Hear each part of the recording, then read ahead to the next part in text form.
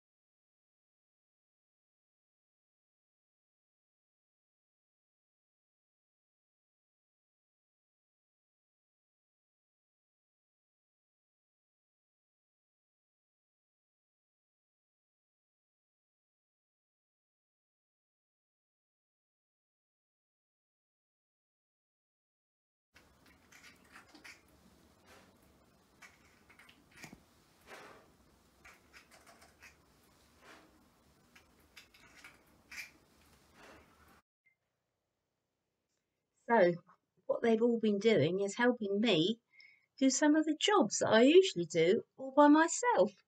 I wonder if you do any jobs at home to help out. And they said, we're sort of being servants. And I think they got that word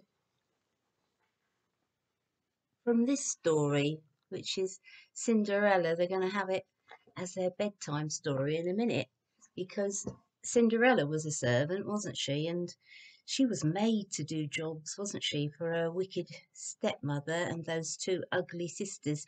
Well, I didn't exactly make them do the housework, but actually, I think once they got into it, they had quite a good time and we all had fun together, didn't we? And actually, when there's lots of you to do jobs, it's all so much easier, isn't it? So, servant is a little bit of an old fashioned word, isn't it?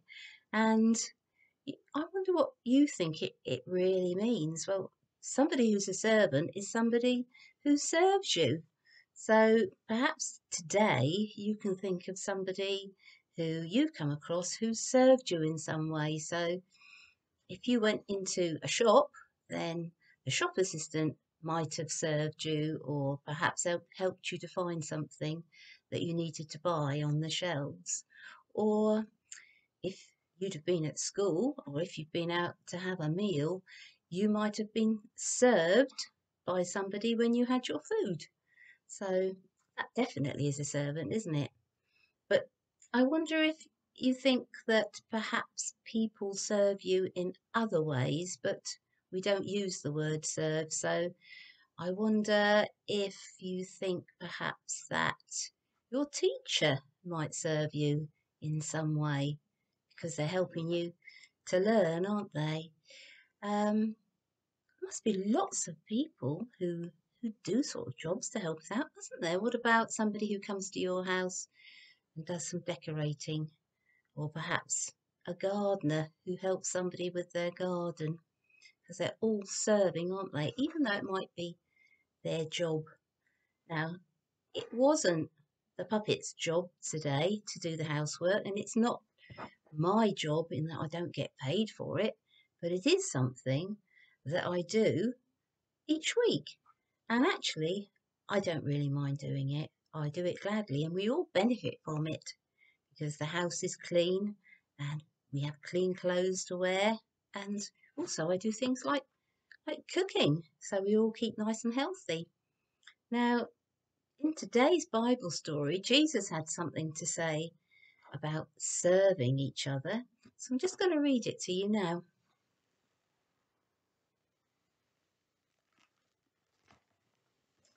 Well, the story comes from Matthew 23.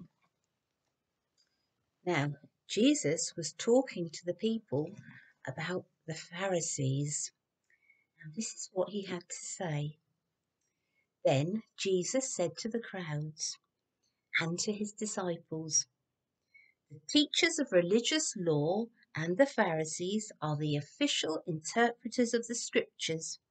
So practice and obey whatever they say to you, but don't follow their example, for they don't practice what they teach. They crush you with impossible religious demands and never lift a finger to help ease the burden. Everything they do is for show. On their arms, they wear extra wide prayer boxes with scripture verses inside, and they wear extra long tassels on their robes. And how they love to sit at the head table at banquets and in the most prominent seats in the synagogue. They enjoy all the attention they get in the streets and they enjoy being called rabbi. Don't ever let anyone call you rabbi, for you only have one teacher and all of you are on the same level as brothers and sisters. And don't address anyone here on earth as father, for only God in heaven is your spiritual father. And don't let anyone call you master, for there's only one master, the Messiah. The greatest among you must be a servant, but those who exalt themselves will be humbled, and those who humble themselves will be exalted.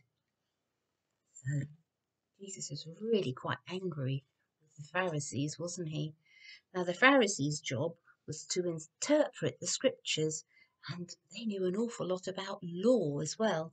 And so they told people how they must worship and the laws that they must live by each day.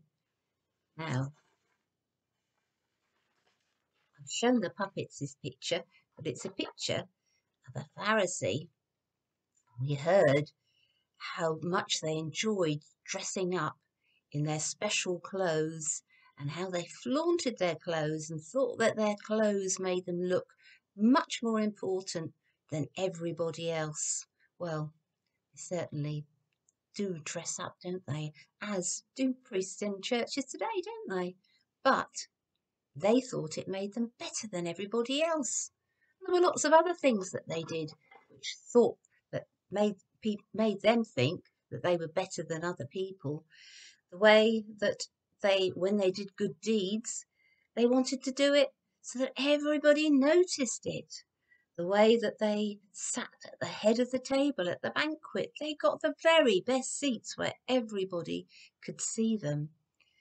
And they did very little to help anybody else. In fact, they made the laws so difficult that it was really difficult for people to worship God because they just couldn't keep up with all the things that they were being expected to do.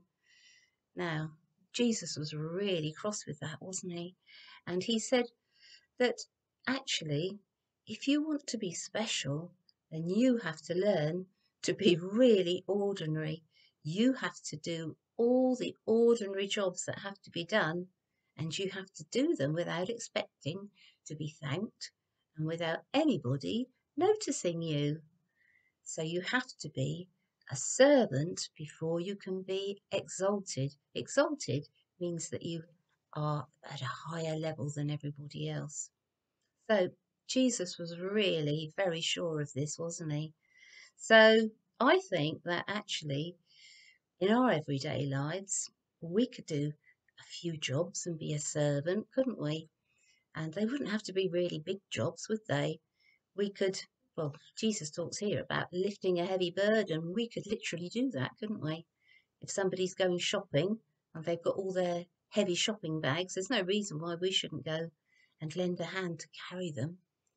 Things like helping out at home, which I know don't really leap to mind as something that you, you really want to do, but actually if everybody lends a hand and does the small jobs, then they all get done more quickly, don't they? And who knows, perhaps you will find them enjoyable. And it's not showing off either, is it? Just because perhaps you've been given a special title, perhaps you're captain of something or leader of something, and it's it's not you that's that's really saying I'm better than you because I've got this. So I think that's really important that that we remember that. So I'm hoping that that these four will actually perhaps help me out in the future because I really got quite good at doing the housework towards the end. So have a look and see if there's any way that you can serve this week, help somebody out when they're not expecting it. I think you'll find that actually you'll feel quite good about that. See you again later. Bye.